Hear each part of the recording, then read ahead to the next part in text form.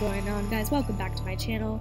In today's video it's going to be a super chill layback video. It's just behind the scenes type deal. I'm showing you how I set up my backdrop and my ring light and all the behind the scenes, how long it takes me to actually get going before I film. Just adjusting myself and you know getting the proper angles making sure the lighting's good because there's a lot more that goes into it than what you see on videos themselves. This setup probably takes me usually around like 30 to 45 minutes just because i'm trying to get everything right making sure everything's looking good and I iron my backdrop, like the cloth and stuff like that, so it does take time. It does take a lot of practice and patience, definitely patience. Cleanup time doesn't take up that much.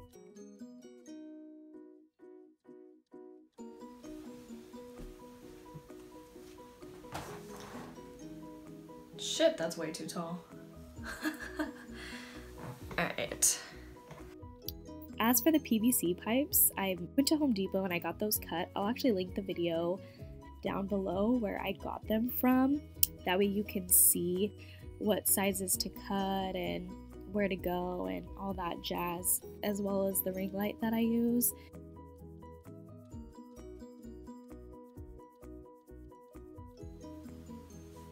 Take one. Do I look washed out?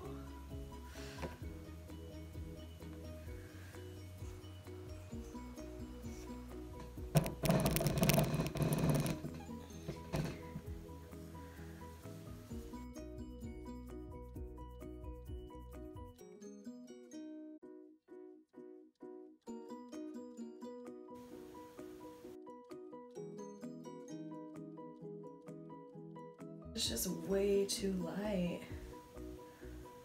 Terrible background.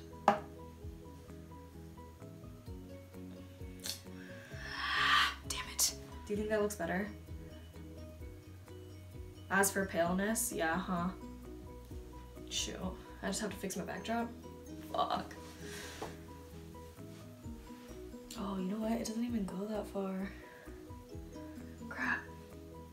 Oh wait, I'll just zoom in. The blanket that I'm using, I'll just zoom in.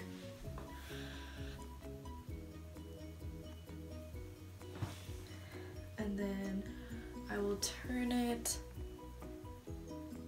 this way. Okay. Yeah, that looks definitely better. Okay.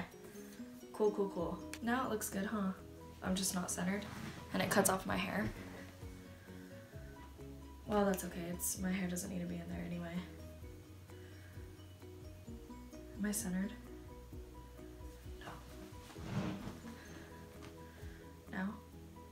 Yeah. All right, now we can get the wheels rolling. All right, we are live.